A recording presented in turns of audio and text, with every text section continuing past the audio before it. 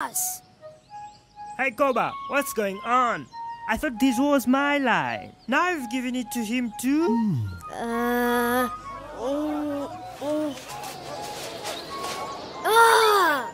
What's up, Koba? What's with all the paper flying around? Ah! I told loads of people to come, but I didn't expect all of them to show up.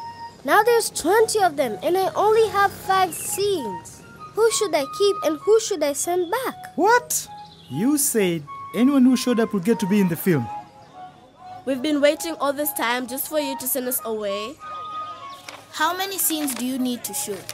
Only five. We can do it, Koba. We just need to use our brains. You have 20 actors and 5 scenes to shoot, right?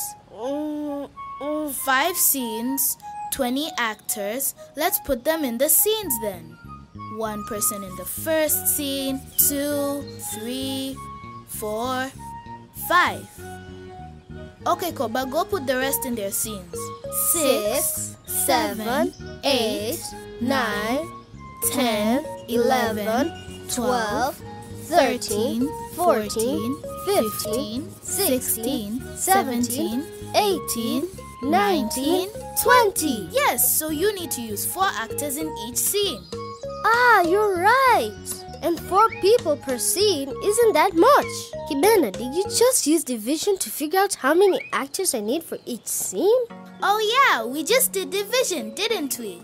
And if you make a schedule for all your filming, then you'd know how long to spend on each scene and how many actors you need. You wouldn't have this problem. Ah, I should start now then. So, my whole film has to be 15 minutes long, and we have to divide those minutes into 5 scenes. So, 15 divided by 5 is, hmm, 3.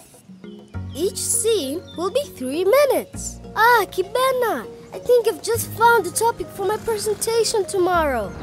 I study math so that I can calculate the scenes, time, and people I need to make great films for the children of Africa.